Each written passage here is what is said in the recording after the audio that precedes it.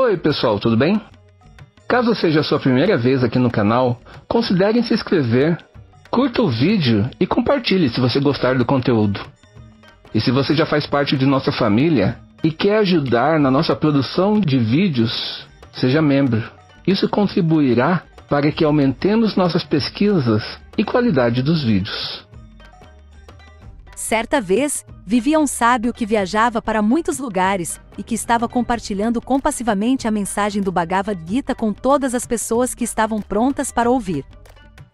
O sábio acabou tendo vários seguidores que viajavam com ele para todos os lugares. Em uma aldeia, os discípulos sentiram que nenhum dos moradores estava interessado na mensagem dada pelo sábio. Então, eles comentaram dos aldeões acerca de seu guru, eles disseram ao seu guru que mantinha notas de dinheiro dentro do Bhagavad Gita e fazia cópias do livro e os distribuía.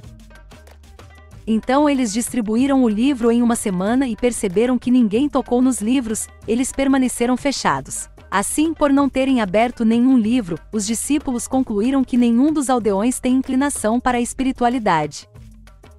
Ouvindo isso, o sábio castigou os discípulos e disse: Ó tolos, o Bhagavad Gita é tão glorioso que limpa o coração das pessoas que acabaram de vê-lo, tocá-lo ou lê-lo. Depois de lê-lo, as pessoas definitivamente não seriam provocadas a roubar o dinheiro que foi colocado dentro, pois eles teriam percebido muito bem que a moeda é tão boa quanto o papel comum. Pelo contrário, tolos como todos vocês, que tentam agir com inteligência e continuam duvidando dos outros, são os que precisam controlar suas línguas, salvar-se de conversas desnecessárias e mergulhar nas páginas do Bhagavad Gita.